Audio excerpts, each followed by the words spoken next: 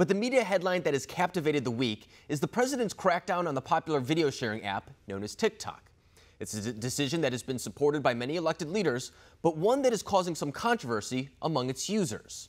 So to help us break down that perspective is Pavlina Osta, a radio personality and executive producer at Salem Media Group. So Pavlina, when we talk about this app known as TikTok, it's a relatively new app here in the United States, but it's garnered hundreds of millions of users in just a matter of a couple months here in the United States. So for some of our viewers that may not know, what is unique about this app? Absolutely. Hi, Alex. Thank you for having me on your show. And so the the unique thing about TikTok is it's fun, it's entertaining, you know, it's a great way for a lot of young people to express, you know, whatever it is that they want to express. TikTok is very versatile. You know, people have it's comedy, it's in, infor- information, it's informative, it's fun. It's just like one of those great apps. It's minutes, you know, it's kind of like our new YouTube in a sense because we can just, you know, keep going through it and it's it's very entertaining and it's been very helpful during, you know, quarantine times. And I think that's a big part of it too, is that it really did start getting popular during quarantine times. And it does really much so tailor to the younger generation. I mean, it's 15 seconds to a minute long videos. It's very quick, something you can go through. Uh, and as you were saying, it covers a lot of different things. Usually when people think of TikTok, they think of dancing teens or something like that. But I've come across comedians. I've come across people who do talk about politics, news, other things. But it seemed to, to also get a very religious type of following, if you will, because they really are, put emphasis on it being a community, I feel like. I feel like that's why there's a lot of support behind it right now. Would you say that's why so many younger people are really upset about this latest decision? Oh, absolutely. It's de- TikTokers definitely, you know, formed together. They're very collective in that sense. And originally, the app was made for generation alpha, you know, the later generation alpha, and also younger Gen Zers, so that 10 to 15 age. But like you said, during the quarantine, during the whole this whole pandemic, it's become very popular among uh, millennials and you know even older generations. I see a lot of older people on there enjoying it and everything. So yeah, they, there's definitely like a community around it for sure.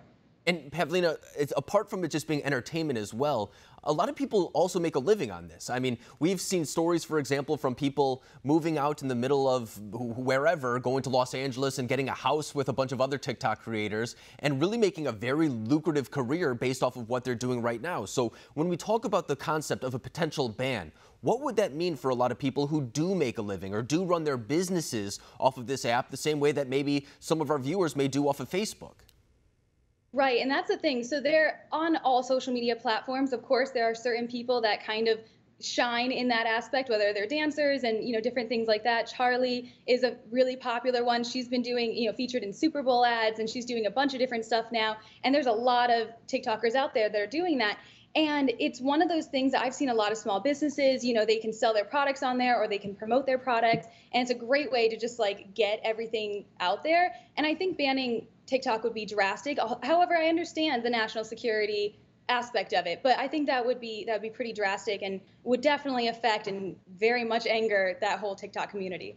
And I think some of our nation's leaders kind of recognize that as well. They understand that it is a very popular app, and to some degree, it is a very eh, popular asset that could be good for a U.S. company to have. You bring up the national security concerns, and really the underlying premise of that is that some of the information of users could be stored and then be shared to the, of course, the Chinese Communist government. So that's the concern right there. But a lot of people also asking, like one route may be for a U.S. company such as Microsoft to buy TikTok, but then some are also asking, is there more of a fair market type of approach? Approach? Could we just make another app, for example, that is somewhat similar? I know that Instagram is supposed to come out with, I believe it's called Reels in the near future. Is this a type of technology you think that can be replicated by another company? Or do you think that TikTok really has a foothold in this sector?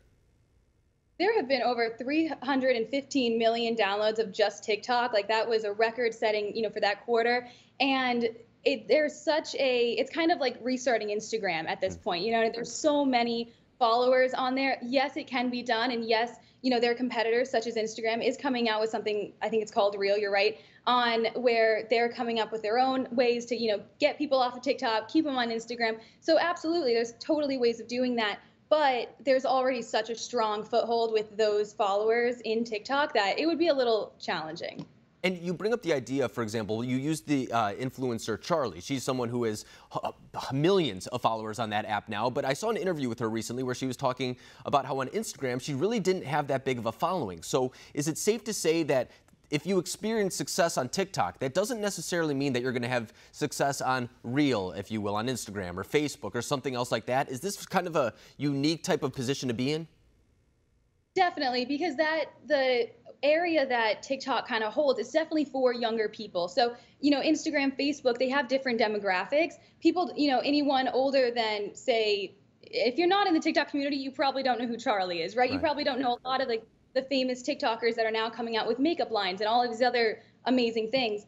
Um, but it's so it doesn't translate in a lot of senses because they already have such a following on that app. Maybe those, you know, the younger people who are following them don't have Instagram or whatever. They probably do, but like that's where they go to. They go to TikTok to watch their favorite people on there. So no, it doesn't always translate. I think that's more of like a demographic thing. And you bring up too that there's other business ventures that come from TikTok, whether it's makeup lines, some people start music careers, some people just promote their businesses. So I think you're exactly right to say that there are implications to this decision that go outside of the app itself. But Pavlina Osta, I really appreciate you coming on, breaking down for myself and our viewers what TikTok is and the direction that it's headed in. Thank you.